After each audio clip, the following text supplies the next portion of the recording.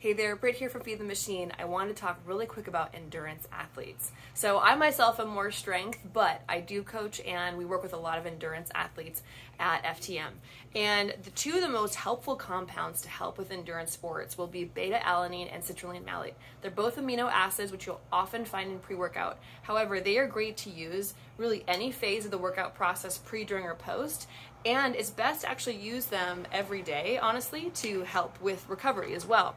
So Proven Nutrition has these both of these compounds um, in their compound form, which you can add to drinks you already love um, or you can add to Core, which again is another proven nutrition product. So beta alanine, that's going to help with um, your lactic acid. So it's going to buffer lactic acid. But when you take it daily, it will help build up those carnosine levels to continue that process. So it's going to also help with recovery. So if you have back-to-back days or really long rides or a long run and then a long ride the next day, this is going to help you continue to perform.